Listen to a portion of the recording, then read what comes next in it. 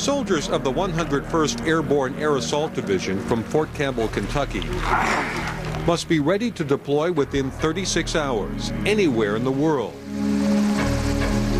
And they've seen combat just about everywhere. Airborne infantry file into buses for their last land-borne ride until D-Day. They fought to support troops landing on the beaches of Normandy. They fought in the jungles of Southeast Asia. And they fought in the desert during the war against Iraq. Now they're preparing for a different kind of mission.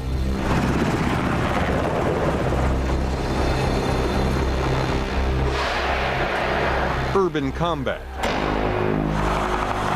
where casualty rates can be 25% or more. To beat the odds, this battalion from the 101st will spend several days and nights training. An exercise so realistic it will test their strengths and expose their weaknesses in the kind of fight the Army has tried to avoid. The ideal combat situation for us is not in the city. Who, Dave? Oh, sir. Major General John Le Moyne oversees an Army task force trying to reduce the dangers of fighting in a city. It tends to get very, very close. Uh, as a result, it gets very brutal and it's very violent. And it tends to be very sudden, unexpected. And it leads to more casualties than fighting on open terrain because a city provides natural fortifications for an enemy. Every building is a sniper's nest, every intersection a potential ambush. So in recent years, the military has begun an urban renewal of sorts. Rewriting its doctrine and training manuals and building mock villages, like this one at Fort Knox, Kentucky, for war games. This is a blow pole where we use explosives to... Andy Andrews, a Vietnam veteran, now a civilian employee for the Army, helped design the site. What's the main premise here? Reality. Training to a standard that we have not been able to reach before by making the city real. There's a railroad, a junkyard, a fake cemetery on the outskirts of town, even a sewer system. And down in here you can see it's wet and it's dirty and we have a, uh, an outfit that makes industrial odors for us. Uh, so in this environment, we do employ the correct odor. So you have a working sewer system right down to the smell? Uh, well, we don't put raw sewage in it, but the soldiers aren't sure about that. As for the water tower at the edge of town, it's actually the control room for a battery of special effects.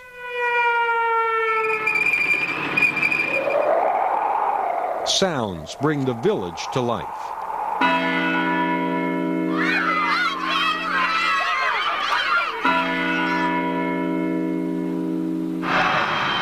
With the roar of a virtual fighter jet and the blast of pyrotechnics, the town takes on the ominous qualities of war-torn Bosnia or Kosovo. And it's easy to imagine Latin America or towns in Africa or Asia. Is this the Army's premier training facility for this kind of operation? Well, it's the newest. Uh, it is the most intense when it comes to what we're doing. Uh, it covers just about all aspects of possible deployments. Whoa. you never know what's going to happen. I don't want to alarm you, but there's a there's a building on fire behind th it. Things Whoa. happen once in a while. Take a look at that. the soldiers coming in here, they have any idea this pyrotechnics are going to take place? No. It's just just as we're what we're experiencing now is what they experience as they come through here. Of course, this is daylight, but they do this at night. They do it day and night. Is it dangerous? Uh, they think it is. Realistically, it's not. Uh, we can't kill them in training. Uh, they know that, but the stress levels that are imposed by many of the things that we do in here gives them the feeling of being in combat. For combat here, the soldiers use blanks in weapons rigged with lasers. here and here. Sensors mounted on the soldier's chest and helmet emit a shrill alarm when someone is shot. Aim center mass of his body, fire it, and it goes off. The Army has more than 30 of these urban combat training facilities around the world and plans to build seven more. Despite all the talk these days about future high-tech wars fought by remote control, the Army believes that small-scale conflicts that threaten world security may ultimately draw its troops into the dirty job of taking a city house by house. Go! As the Cold War has given way to regional conflicts and the war against terrorism, U.S. military missions have also changed. Pentagon planners now envision their troops simultaneously delivering humanitarian aid putting down riots, and engaging in combat, all within one city, possibly within a few city blocks. A new infantry training manual is chilling and blunt. Urban areas are expected to be the future battlefield, and combat in urban areas cannot be avoided. Times have changed. Politics have changed. Right now, our most likely threat is a small-scale contingency an asymmetric enemy who wants to get us in close so we lose the advantages of most of our uh, high technology. Uh, and they're banking on the American public and the American media for casualty reports um, to influence our will.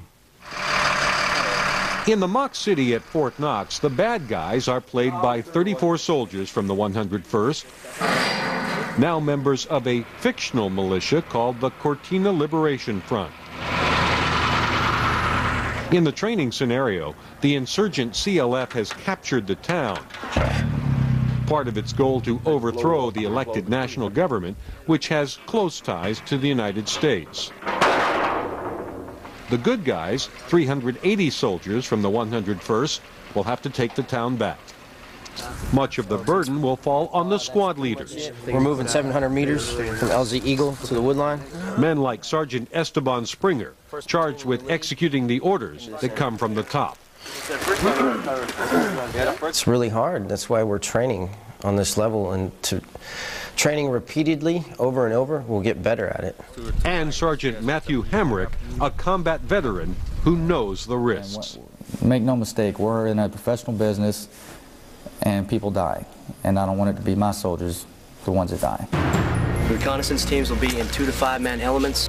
Over the next four days, soldiers from the 101st will draft a battle plan.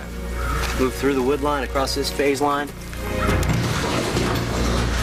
Practice their moves. Go, go, go! Then fight for their lives in the dead of night. Watch out, watch out! In this war game, the emphasis is more on war than game. The skills learned here could mean the difference between life and death if the next mission is real combat in a real city. Coming up, hey, up against the wall. the fatal funnel. Can these soldiers make it through alive? Go, we have a saying, uh, fight the enemy, not the plan you know, they're not going to play by our rules.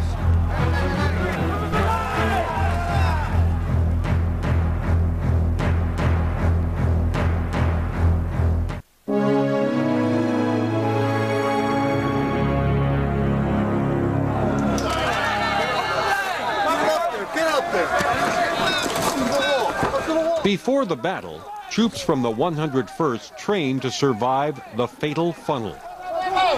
The fatal funnel is that point where you go into the room, one meter into the room, one meter on each side of your entry point. Hey, up against the wall! Go, go, go! If you got a bad guy in there, he's the one that will be oriented at the fatal funnel. Every soldier is going through that thing to get into the room. The only way to make it through alive is teamwork. Each soldier is responsible for a section of the room. They're not in there together. the first guy that goes in there doesn't have anybody to cover him when, he's in, when he enters the room. And that, that's a problem there. Sergeant Matthew Hamrick has seen urban combat firsthand. As an elite Army Ranger, he was part of the 1989 invasion of Panama to topple General Manuel Noriega and arrest him on drug trafficking charges. Anytime you're in a situation people shoot at you, I would expect anybody would feel fear. I don't know how I deal with it. I mean, it's just something I guess the Army trained me to deal with somehow in their collective way of thinking, the way they train people, I don't know. You got a room to your left? Go left, flank, go. Now with the 101st Airborne, Hamrick helps lead Charlie Company, training his men to kick the Cortina Liberation Front out of the mock embassy at Fort Knox, the biggest building in town. By virtue of his experience, Hamrick has carved out a special niche for himself. I don't know how to say this without uh, letting my commanders way up there see how I do business. I, I, I have basically handpicked my squad. And I have willed and dealt with other squad leaders, and I have built my squad up to the powerhouse that I think we are today. We got heads up there. Hey, hey, hey, flank. The newest squad member is Private Michael Gonzalez, 18 years old, fresh out of basic training. Gonzalez joined the Army for excitement. I'm adventurous. I like a, somewhat adrenaline rush. If you're efficient in what you do, then the danger level isn't that high. If you're good at what you do. But Gonzalez is impulsive, anxious to do a good job and learn to do it better. His commander says Gonzalez sometimes works too quickly. Clerk. For example, checking for booby traps on enemy dead. Do it the wrong way, someone gets killed. Sometimes I just go too fast. I guess it's just the adrenaline trying to just do it, you know. For three weeks now, I've been trying to get that through him, and he's picking up on it now. I try to do efficient, but yet uh, fast. It's not something you can learn overnight. Not overnight, but the sooner the better. Because urban fighting is taking on a new importance in the Army. It's a major shift from the mindset of the Cold War. During the Cold War, the focus was on warfare on the plains of northwestern Europe. That urban terrain has taught us a great deal about adapting. Russell Glenn is a military analyst at RAND, a West Coast think tank. He says that when Cold War tactics were applied to Desert Storm, the lesson was clear. You probably can't beat the U.S. on open terrain.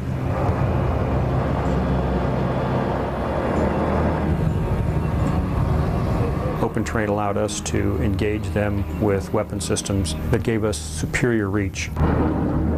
We had systems that could reach out and kill them at the ranges where they could not kill us.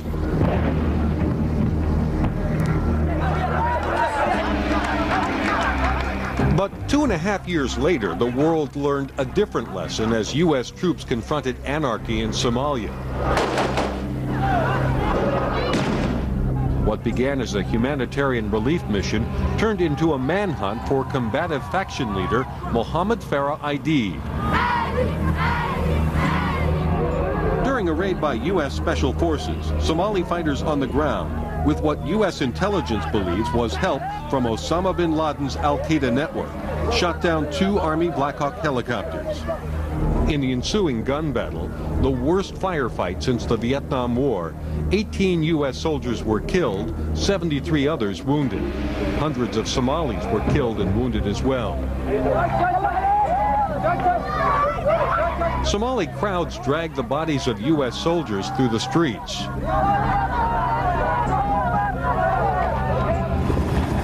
In response, the White House claimed it would not cut and run, but immediately began planning for the withdrawal of U.S. troops within six months. And some in the Pentagon believe Osama bin Laden concluded the U.S. military could be defeated simply by inflicting casualties. Certainly somebody looking at that, would say that the United States and its potential allies were not as ready to fight in built-up areas as they were in more open terrain.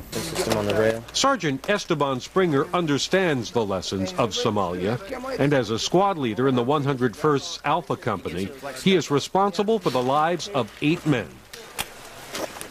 Somebody's got to do this job, and I feel that I'm competent enough and trained enough to where I'm doing a good job at it. At the Fort Knox training site, Sergeant Springer and Alpha Company will attack the hotel. Strategically important because it overlooks the main street. Pick it up. Start pushing up. You have to train like you fight. Springer's men have traced out the rooms of the hotel. They rehearse their moves in preparation for the mock battle. They can run drills over and over. And if you make split decisions at a moment's notice while you're training, then in combat, you'll be able to make these decisions also. There you go. Then you just pick up. It's a tight uh, working environment. You're inside a building. You want to maintain 18 inches off the wall because bullets could glance off the wall and hit you. So smooth. You want to be able to be right next to each other, and then you go into your motion into the room. You guys will come out, then you just pry it off around this corner here. It's like you're flowing into the room itself from the hallway. And then you come in and move into your zone of domination. The training starts at low intensity, so newcomers like Private Anthony Guyton can keep up. You're going to have to be clearing the steps. All right? Just like that. Guyton joined the Army eight months ago to escape a poor neighborhood in Queens, New York. Just like everyday ghetto environment, urban, bad stuff, hanging out late and stuff like that. Guyton views the Army as an opportunity to build a career. I actually picked up Guyton at battalion headquarters when he first came to the unit. He seemed like the model soldier out of basic training. Yes, sergeant, no sergeant, standing at parade rest. Got the big opener. Right. What Guyton resists is the squad's unofficial pastime, chewing and spitting. Oh, never. I'm a city guy. I tell them all the time, I say city people don't chew no tobacco. Forget that. Uh, no, never. You're going to be down the hall. But their differences haven't diminished the loyalty Guyton feels to the other men. They're responsible for each other's lives. It's a bond you, you meet just instantly. Whereas even when I was home, like the people I grew up with all my life, we, we never had that bond. I love these guys. I love my family. I'm willing to die for these guys. This is where I'm willing for my family. Go. Come in. Entering and clearing a room, each soldier has a specific assignment. Guyton knows he could be called to work any position in the event a comrade falls in battle. If you practice, you can always make up for your mistakes. And if you do it for real in war, ain't no time for mistakes. A mistake can cost you your life. When we return, the Cortina Liberation Front digs in for a fight. This is going to be our most casualty producing weapon right here.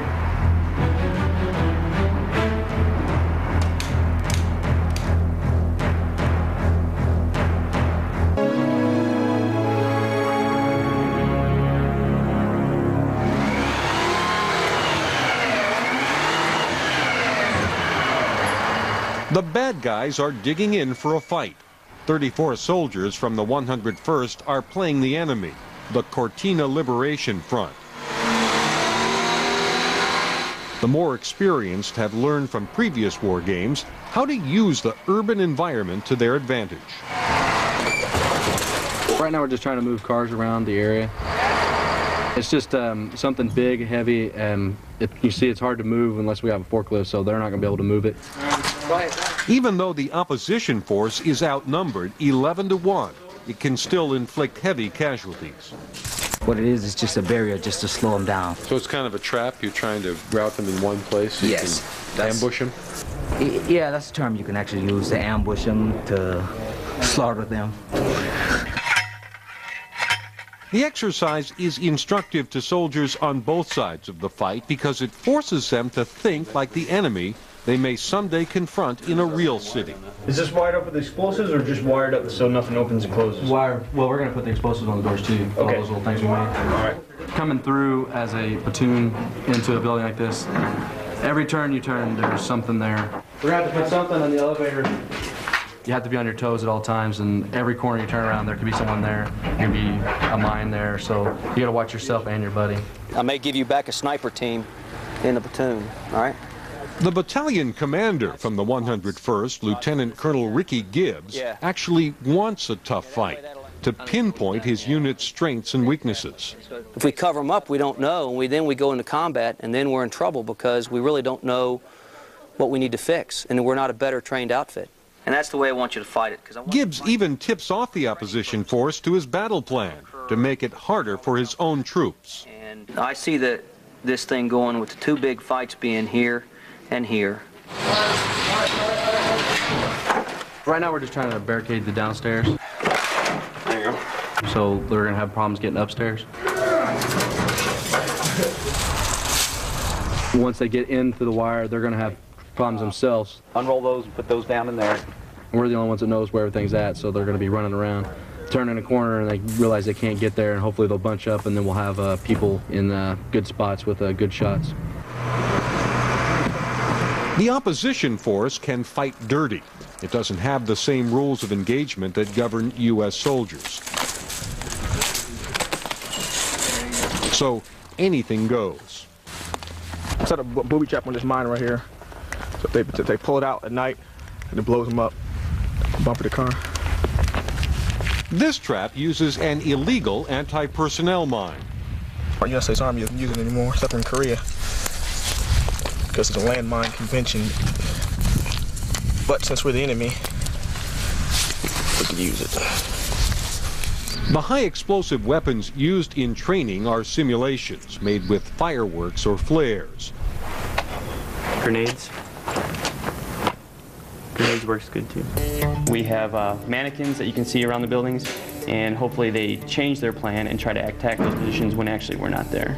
For the op force to prevail, what would have to happen? Well, I think the probably if they rush. If they rush too much, they'll run into buildings without thinking through their tactics. Surprise is the key. Anytime we can uh, make them think or change their plan, it's uh, an asset to us. I've been in command about 10 months now. And in the 10 months I've been in the battalion, we have not gone into a big city like this to fight. Move out, move out. We've done a lot of how to enter and clear a room, or how to enter and clear a building with only two rooms. More silence. Silent, silent. Watch that tower behind you. This is probably, say, graduate level work. Yep. One of the toughest lessons will come from this 50 caliber machine gun. They don't think we have rounds for it, but we got some. We don't got much, but it don't take much.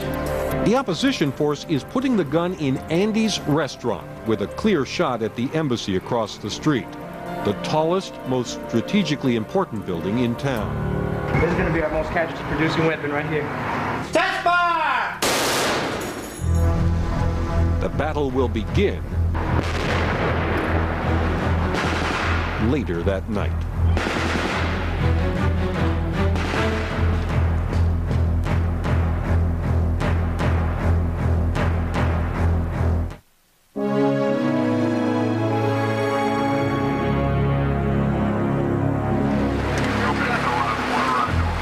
Cold Steel 6, Bulldog 6, I understand you said you cleared the third floor of Building 12, over. After three days of training, Lieutenant Colonel Ricky Gibbs sets up a command center in the rain-soaked woods outside of the town.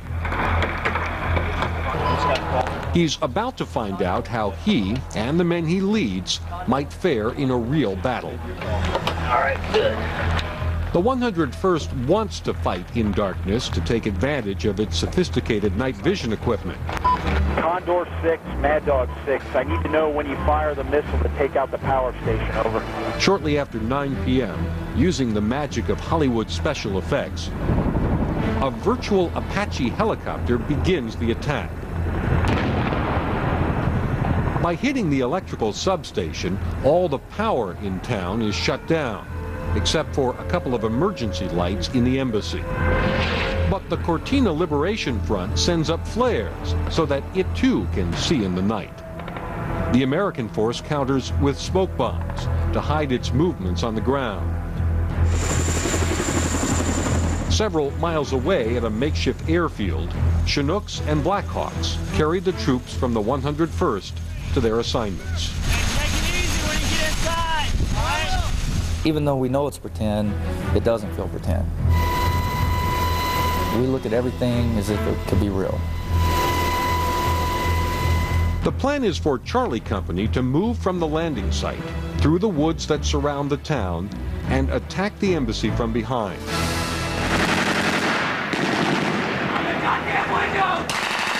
The soldiers want as much cover as possible because most casualties occur getting into buildings. The opposition force is prepared. Let them breach that wire. Y'all stand in the hallway.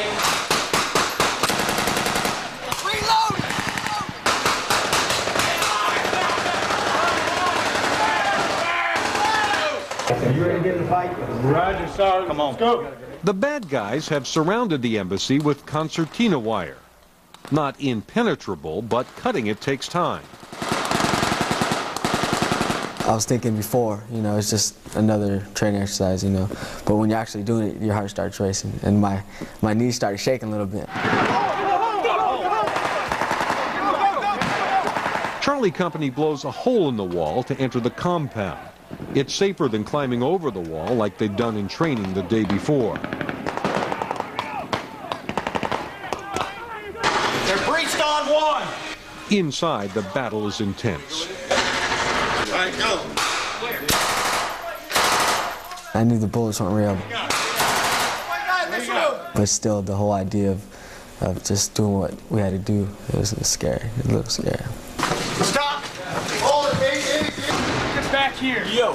Down, around the corner, down. Be a flashlight on there. You see if I can down, steer where you shoot. There's a big concern for fratricide in these units. Right here, who's that? Gonzalez. Gonzo. You got fellas coming out. Roger. Even going in, in a single room, if people don't go to their sector, you've got bullets flying past people's head to engage targets. That's how, that's how dangerous it is. Go. One, two, three.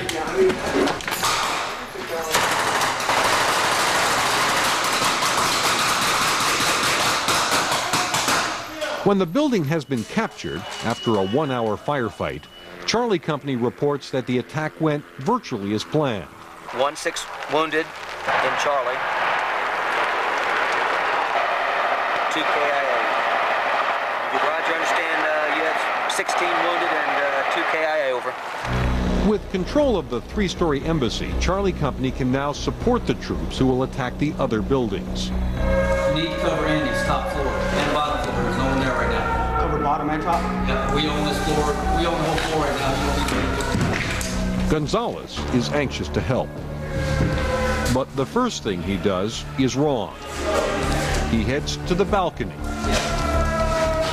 It's dangerous because there's not enough cover. Gonzalez. Gonzalez. Get in here. His supervisor pulls him to a supposedly safer place. There was a metal container guarding uh, three-fourths of the window, and I had a little section I was shooting out of. But it's not thick enough to stop rounds from a 50 caliber machine gun, like the one the opposition force set up across the street. Hell no. At first, I was like, oh, dang, I'm dead. But then I started thinking about, I was like, I would really be dead right now, blood and the whole nine yards. And you kind of have to deal with that your own little way. It turns out the new position for Gonzalez was no safer than the first one.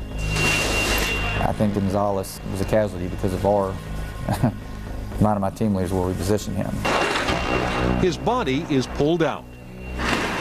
I take responsibility for that, yes. The others pull back.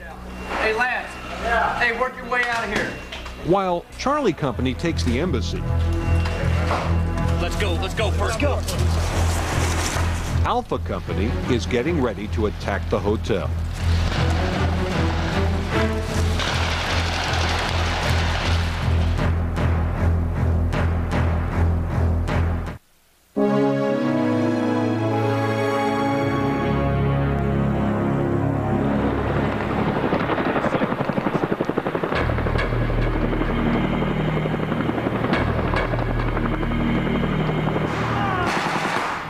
While Charlie Company attacks the embassy, the plan for Alpha Company is to come through the junkyard and attack the hotel. Prepare to launch uh, my first assault platoon into the breach, over. Hey, let's push. Let's go. Let's go first. Go. While one platoon strikes first to clear a path, All right, get a move on right now. I got permission to go. the others stay behind. Seemed like a long wait, but we, like we train for that too. That's where the mental part comes in. Private Guyton carries a folding ladder, unaware he is about to play a key role. I was expecting to get to where we had to go and leave it off for the next company who was behind us or the next platoon who was behind us. And then the mission changed like instantly. It's like, oh man.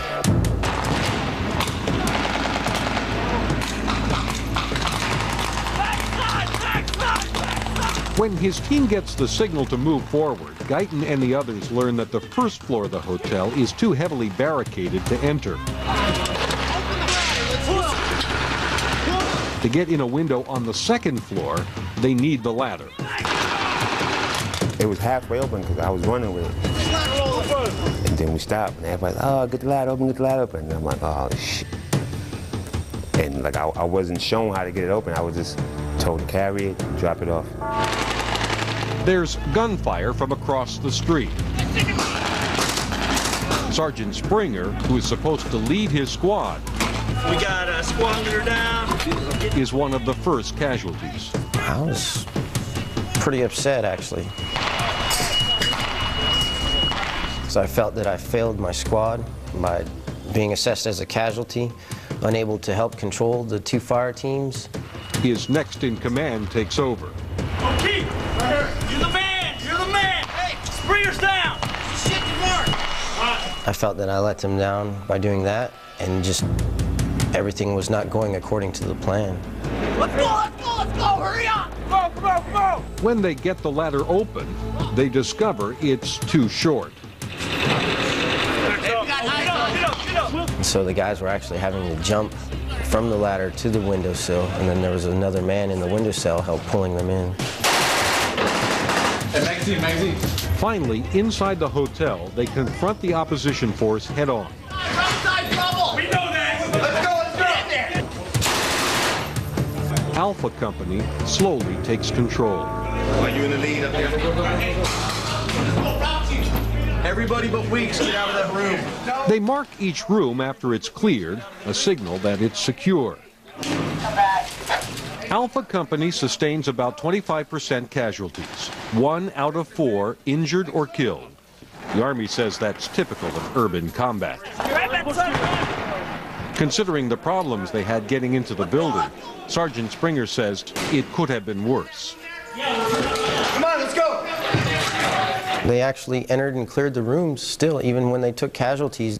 They formed up into four-man teams and still continued to do what they were trained, the way that they were taught. So that was great. They did that on their own to a T. With the main building now under their control, a third company, Bravo Company, mops up. Only scattered pockets of resistance are left. Pretty much, from the looks of it, we're it. We're, we're the only thing that's left of the so-called bad guys. So we're probably just gonna run around until we either run out of ammo or they kill us. Go! Get out of here! Not a whole bunch more we can do. Five hours after the battle started, the good guys have taken over the village, All right, lift it up. but only after losing 58 of their men. When we return, Congressmen and senators are going to be invited to visit this site.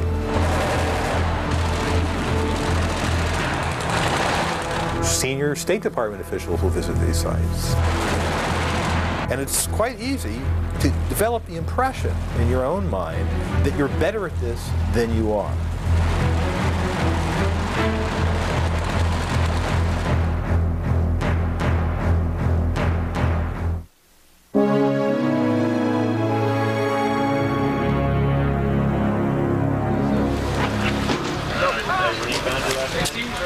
The battle-weary soldiers have spent the night in the buildings where they fought. Right out here, man. The overall casualty rate was 15%, better than anyone expected. This will be a day to reflect on what went right and what went wrong, lessons that might be needed on a future urban battlefield. I think overall, the overall fight was faster than what we anticipated, and we were able to get through the town. We were taking bets on how long it would take to take this town down. And uh, it went from 1 o'clock in the morning to 2 o'clock in the morning to 8 o'clock in the morning. And we finished the fight and destroyed the enemy about 2 o'clock. But the training is not quite over. In the building, you're safer than any place else. And what we were doing was, we were outside just standing around. So Soldiers from each unit meet to critique themselves. Alpha Company meets in the lobby of the hotel, now their hotel. Private Guyton, Sergeant Springer, and their platoon leader, Lieutenant Al Snyder. And I tell you one thing, this is this is a perfect opportunity just to look back. How many new guys we got here? First field problem. All right. What did you use to mark the rooms to clear them? There's no top brass, just the guys who pull the triggers. As they analyze the battle from the previous night, they can see how small problems combine to create big ones. At the beginning, there was incomplete information from the first group to attack the hotel. Communication stopped. The CO, the commander, thought that the breach was secure when it wasn't. As a result, the next group was called up too early, Sergeant Springer's group. I think if we would have waited probably another 20 minutes, we would have done a lot better going into the building. Rushed from the beginning, things only got worse when they needed the ladder. This right here, pull up. Hey. The only thing that we lacked on rehearsing was actually employing the ladder itself. You pull us up, pull us up. And when we got here, we didn't have the ladder fully employed all the way. Pull that up. Hey, what up with goddamn? That was initiative when we went up that ladder, okay? We'll get better, and that's why we train. The training has taken on new urgency in the wake of the September 11th attacks. Move it, come back! Defense Secretary Donald Rumsfeld has ordered his commanders to draw up plans to take the war against terrorism to other countries. Some in the Pentagon want to go back to Baghdad and remove Iraqi President Saddam Hussein from power.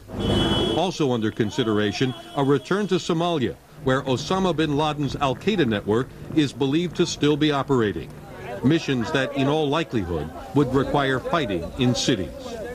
It is not our intention to reduce cities to rubble uh, while they hide in there. We will find clever ways to go after us, but, but it's extremely difficult. Very few people know of any more difficult kind of warfare. But if cities are such horrible places to fight, why not just avoid them?